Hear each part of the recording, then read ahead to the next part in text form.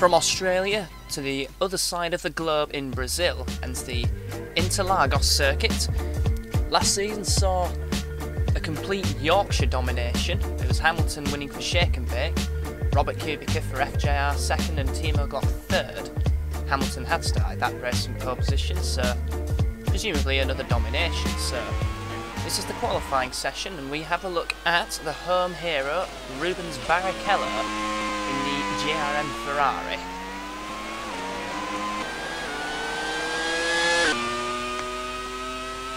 So he's climbing up the hill, and he's to start this lap. So crossing the line at maximum speed, braking hard for a difficult turn one. The brake is during a during a curve as well, and then it tightens, and it's a right-hander which is an acceleration zone, and then turn three, flat out, no problem. That was the curve of the Sol. So back straight, maximum speed again. Into turn four and five, the Descida de Lago is where you go in between the two legs, and then turn six and seven, the Ferradura, translated to the horseshoe, because in the olden days it looked like just that, a horseshoe. So Laranjinha, and then Pinarino, the little pine tree. You can just see it there. It's disappeared now. So the Pico de Pato, the duck's beak, and then Mergulho, the dive. Very fast left-hander this one. So the Junção corner, translated to junction. And then up the hill, through a bunch of left-hand kinks, and that completes it. A short lap of Interlagos, but very punishing race nonetheless, not 70 laps in excess of. So Barrichello crosses a 115.7, Senna goes a second slower, Adrian Sutil goes fastest by half a second.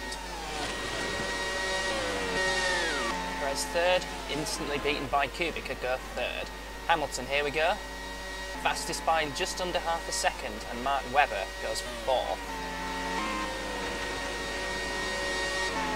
Can hear them all at maximum RPM there. Glock's not had a good one, he's been beaten by Grosjean. Alonso hasn't beaten Grosjean, but possibly Alonso was held up there by the Frenchman. Paffett, 12th. Just beaten by Jarno Trulli. And Buemi goes fastest by just over a tenth of a second. So Hamilton looks like he has a challenger this weekend. One of those challenges is unlikely to be Kobayashi. And here is Grosjean, currently 7th, 1.3 seconds behind the fastest man, which is Buemi.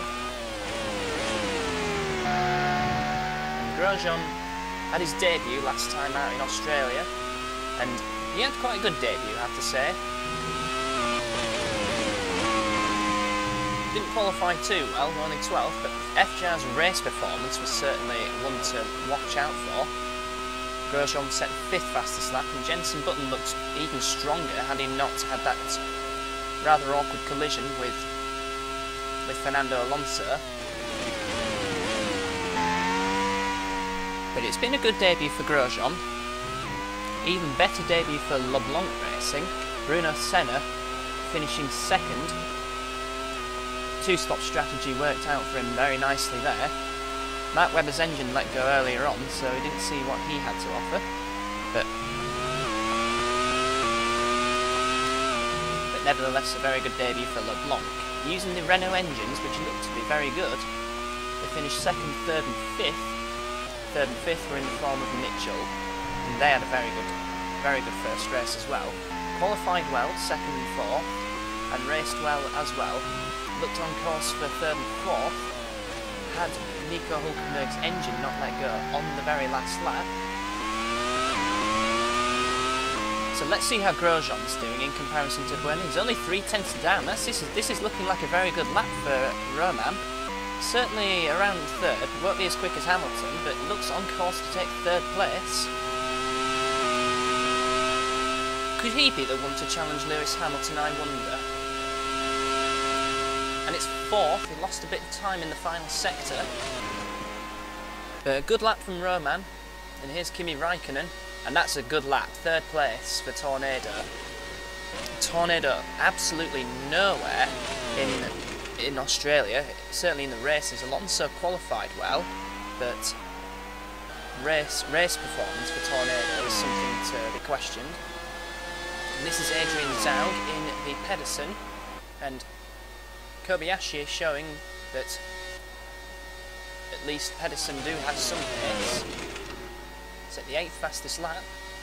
Vettel goes sixth in, the, in this Shannon, the much improved Shannon in fact, but certainly not in reliability form.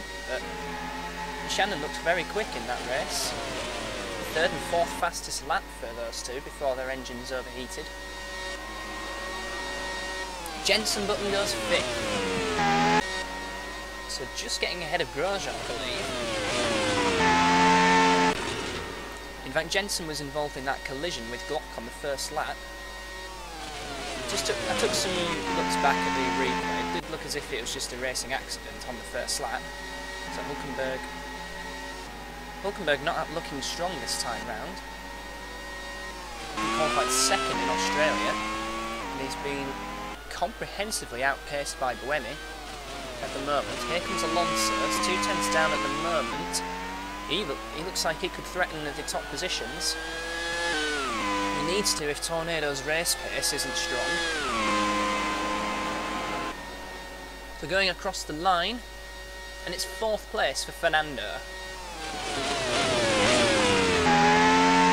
So just to recap, Buemi's in pole position at the moment from Hamilton, and it's the two Tornadoes of Raikkonen and Alonso. Kubica 5th for Guy Racing, Sutil 6th for Andy Racing, and then the two FJRs 7th and 8th. Button ahead of Grosjean. Then it's Vettel for Shannon, ahead of the other Guy Racing of Rosberg. Barrichello 11th for GM, and then Webber down in 12th for LeBlanc. Glock down in 14th, so already being outpaced by his world champion teammate. And there's Hulkenberg down in 21st, so not looking good for him so far. He needs to step up it. Now he's last because Paffett has gone 21st. Mark Webber had a yet another miserable home race last time out. So let's hope, he, let's hope for his sake he can do something good in Brazil. So he goes ninth, improves three, three, four positions, three positions there. Robert Kubica in the Guy Racing goes fourth. So Kubica's splitting the two tornadoes there. Kobayashi's improving at the moment. Looks like half a second up on his current lap time so far. But it's only good for 19th. Pedersen's not looking that quick. And Raikkonen not improving. Glock improving to 9th, so he has made the top 10. And sneaks off last position. And here's Hamilton. He's on a lap. Not good enough to beat, beat, beat, beat Buemi. So the checkered flag is now out. And some drivers still needing to complete some laps. One of them is Kovalainen in the Dark Wolf. He looks to be on a very good lap. Only six tenths down on Buemi. I say six tenths. Dark Wolf not looking very quick this season. So where can Heikki come? Could threaten the top 10 here. And he does, 10th place. Bang on the 10th. So to, so recap the grid. Buemi on pole from Hamilton, then Kubica splitting the two Tornadoes. Adrian Sutil, good effort from him to get up to sixth, ahead of both FJRs who occupy the fourth row. Glock and the Kovalainen completing the top 10. Pedersen not looking particularly quick, but whereas Hulkenberg was second on the grid in Australia, he is second from bottom in qualifying for this race, so we'll see you for the race.